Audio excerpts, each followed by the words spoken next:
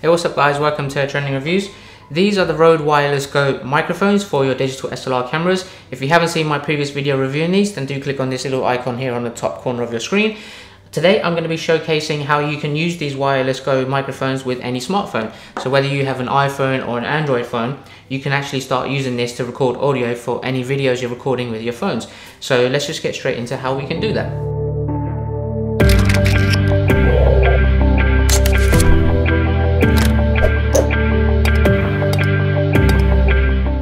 Guys, so the first thing you need to do is actually go onto Amazon or to the Rode website and actually purchase this patch cable called the Rode SC7.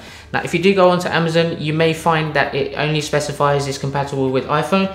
This is not true. I've got an Android phone, I have the Samsung S10 Plus and I've tested it with this and it works absolutely fine. So if you do have any Android phone, this should work without any problems. So essentially what this cable is, is just a TRS to TRRS patch cable, which you actually insert directly into your phone and into the Rode Wireless Go. So let me quickly show you how you can do that. All right guys, what you need to do is take the TRS end of the patch cable, which is the black side, put that into the receiver, and then you put the TRRS end, which is the gray side, into the headphone jack of your phone of course, if your phone doesn't have a headphone jack, then you can just use the adapter cable for that. Then obviously you just need to turn it on and you are ready to go. So I'm going to turn on the Rode Wireless Go here. Have that connected and then it's pretty much, there's no other settings, there's no additional apps you need to get, it's ready to go. So all you need to do is open up the camera on your phone and then start recording and it should pick up the audio from the Rode Wireless Go immediately. Okay, so now that I have this connected to my phone, I'm going to be switching the video recording and the audio recording to use just my Samsung S10 Plus instead of my Sony a7 III. So let's go ahead and make that transition. Okay guys, so now I've switched over to my Samsung S10 Plus.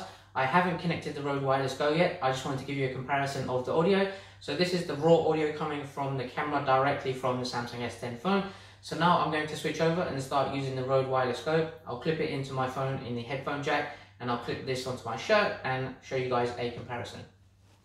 Okay guys, I now have the Rode Wireless Go clipped onto my shirt here and the audio is coming directly through this microphone. So I wanted to give you guys a comparison to show you that this actually increases the audio quality 10 times better. It works completely as good as it does with DSLR cameras and if you're going to be going out and start recording or even vlogging with your phones, then I definitely recommend you buy this because it's so convenient, it's lightweight, it charges through USB-C and the patch cable is only 10 pounds on Amazon so it's a bargain if you want the best audio for your videos. So that's about it guys. Hopefully that was a very useful review for you. If you have any questions, if you'd like me to try anything else, then do drop a comment below. If you're having a bit of a struggle or some problems using this, then do let me know in the comments below. I'll try to help out as much as I can. Otherwise, I appreciate your like. I hope you subscribe and I will catch you guys at the next one. Take care.